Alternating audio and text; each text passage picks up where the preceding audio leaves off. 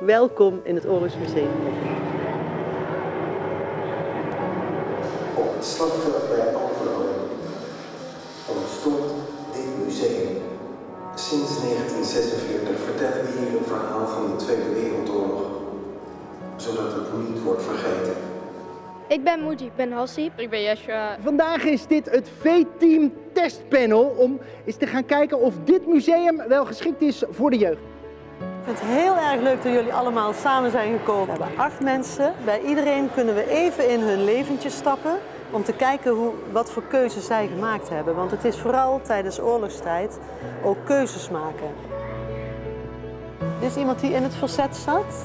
Hier kun je dus instappen in zijn leven.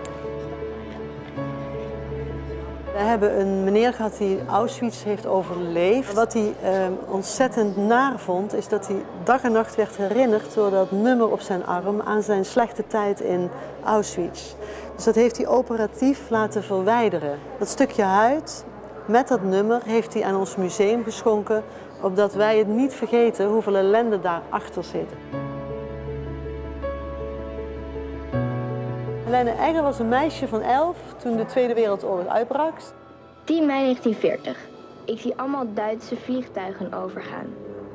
Mijn broers komen in de Hollandse Schouwburg terecht.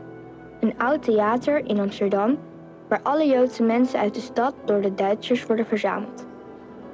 Na een paar dagen worden ze s'nachts met de trein doorgestuurd naar kamp Westerbork. Uit Westerbork sturen ze nog één briefkaart. Daarna hoor ik niets meer van ze. Ik vind het wel mooi dat je nu ook gewoon van een meisje van elf hoort van hoe het is geweest. Ja, ik vond het wel heftig, omdat je dan uh, ziet dat langzamerhand elke, dat ze familieleden verliest en vrienden en uh, dat ze eigenlijk uit in de eentje overblijft. Ik denk dat het ook zo wat meer indruk maakt dan wanneer je het leest. Omdat inderdaad het zo echt wel verteld wordt en je het zelf ook mee voelt wat zij heeft meegemaakt. Juist de kinderen zijn belangrijk voor ons. Dat zijn degenen waar we de boodschap aan willen doorgeven. Dat vrijheid niet zomaar uh, vanzelfsprekend is. In dit bos, in dit dorp, is een grote tankslag geweest, is een slag geweest. Als je hieronder kijkt, zie je ook dat hij helemaal open is geslagen. Hier is niemand goed uitgekomen. Dit vliegtuig is een Dakota.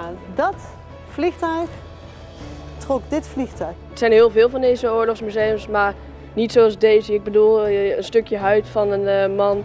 Dat is denk ik misschien het enige hier in Nederland. Je moet die verhalen niet vergeten zoals de hongerwinter of dat mensen echt keuzes moesten maken in oorlog. Soms goed in ons ogen nu of slecht. Vrijheid en daarover nadenken, niet zomaar iemand achterna lopen is zo belangrijk. Dat is wat we uit moeten dragen.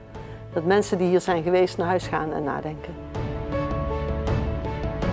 En dit is dus wat er gebeurt met een vliegtuig wat neergehaald wordt en op de grond uh, neerstort.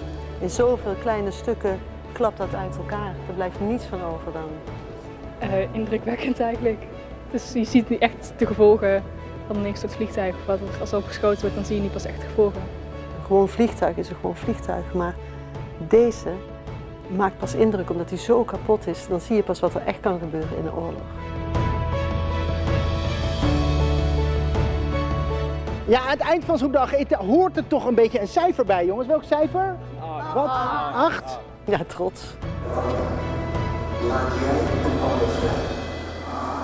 Oorlog hoort in een museum. Maar daarbuiten is het aan jou